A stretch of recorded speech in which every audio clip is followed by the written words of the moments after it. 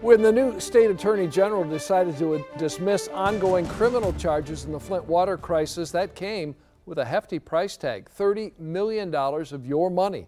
That's how much the state has spent in the last two and a half years on everything because you paid for prosecutors as well as defense attorneys. So we want to know what you think. Is all that money spent on the Flint water criminal cases a waste of taxpayer dollars? Log on to WXYZ.com slash vote to tell us how you feel. In the meantime, 7 Action News reporter Jim Kiertzner breaks down all that spending. Here's one way to look at this. Flint is a city of about 100,000 people. That's 300 bucks for every man, woman, and child. And is that money now just down the drain with the charges dropped?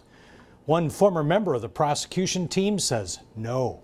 The the charges that were leveled I think were were investigated and um, solid evidence was presented. So in that case, I don't. I I would disagree with them. Team put together by the former Michigan Attorney General included these four front men, but also 96 other attorneys, investigators, support staff, experts.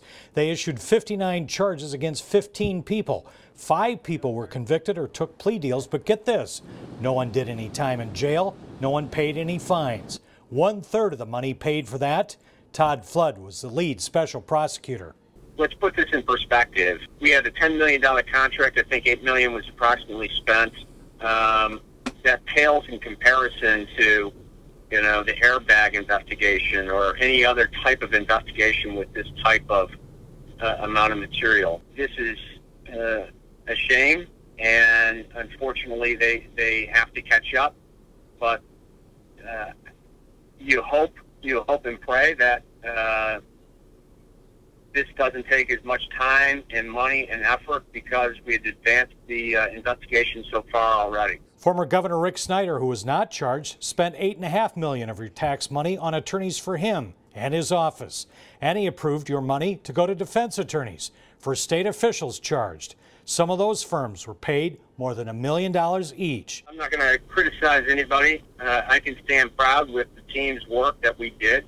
The $30 million figure was provided by the state as of January. That means the meters are still running as the new investigation gets underway. Jim Kiertzner, 7 Action News. Thank you, Jim.